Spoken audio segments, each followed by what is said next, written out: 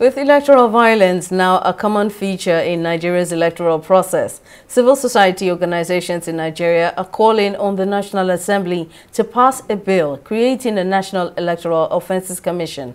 Adele Jinadu of the Center of Democracy and Development, CDD, and Awal Rafsanjani of the Civil Society Legislative Advocacy Center, CISLAC, made the call in Abuja during the CDD Election Analysis Center Post-Election Conference. The need for the establishment of the commission, according to the political experts, stems from the observations during the 2023 governorship and state assembly elections, where violence was well pronounced. They believe that if electoral offenders are prosecuted going forward, it will serve as a deterrent and there is the tendency for reduced voter apathy during elections. We should borrow a leaf from Kenya where after the post-election violence in 2007-2008, they set up a national, a, a, a, national commission for integration and cohesion, which criminalizes the use of hate speech.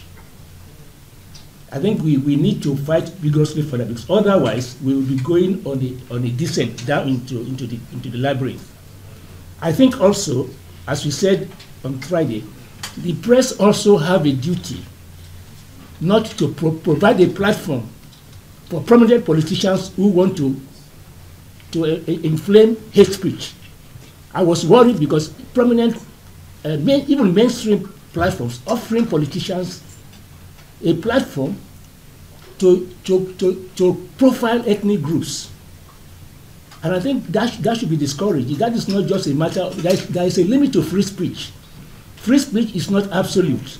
And when the press encourages and provides platform for prominent politicians, including even governors. That's a very, very serious um, uh, deficit in our efforts to consolidate democracy. We must not reward impunity and violence to people who have you know, grossly uh, violated the law. Secondly, uh, it's very clear as a way of minimizing the cost of violence, electoral violence in this country, we still need to revisit the demand of civil society to establish uh, electoral offences commission.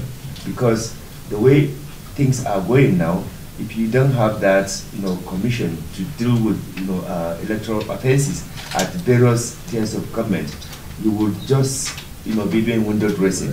Because a state attorney general you know will be the only person if he likes to present any electoral offences to the court if he does not or she does not, you know, take interest in that, it means that people will continue to perpetuate electoral uh, offences and they get away with it.